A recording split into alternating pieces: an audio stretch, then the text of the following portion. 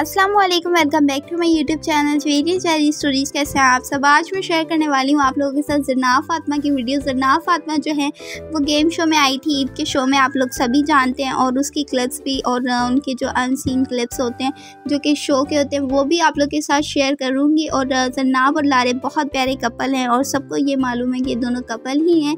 दोस्ती से बढ़ गए हैं क्योंकि अक्सर वीडियो शेयर वगैरह होती रहती हैं इनकी।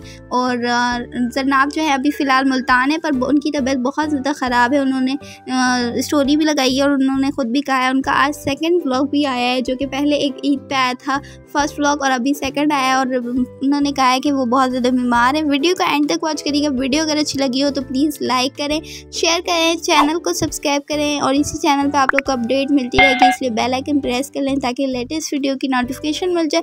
जरनाब आपकी ड्रेसिंग कैसी लग रही है कॉमेंट्स में लाजमी बताएँ, और ईद के शो में आई थी। और उसके बाद इन दोनों का कोई इरादा नहीं है शो में आने का और लारिब खालिद ने कहा था कि वो अभी फ़िलहाल कोई शो वगैरह नहीं करने चाहते हैं, वो अपने सेल्फ पर थोड़ा और ग्रूम करने चाहते हैं। उन्होंने एक बार स्टोरी लगाई थी जो कि मैंने आप लोग के साथ शेयर भी की थी और देखें और जन आप क्या कह रही हैं, वो भी सुने और लारिफ खालिद जो है, इनको बहुत ज़्यादा पसंद आ गए। इन्होंने स्टोरी के नीचे भी लिखा था और देखें वीडियो। वीडियो आप लोग को लाजमी पसंद आएगी। लाइक करें, शेयर करें। चैनल को सब्सक्राइब करें सर आप कुछ कह रही हैं, सुने। तबीयत पता नहीं क्या हो गया। तबीयत को नज़ला, ज़ुकाम, खांसी, बुखार सब कुछ हो रहा है। और दूसरा ब्लॉग अपलोड कर दिया जनाब फातमा ने। देख रहे हैं आप? सर्विस फास्ट सर्विस लिंक पे क्लिक करें चुपचाप देख लें।